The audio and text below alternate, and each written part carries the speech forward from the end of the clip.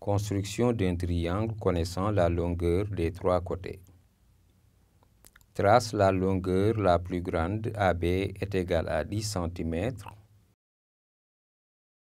Prends un écartement de compas correspondant à la longueur du côté AC est égal à 7 cm.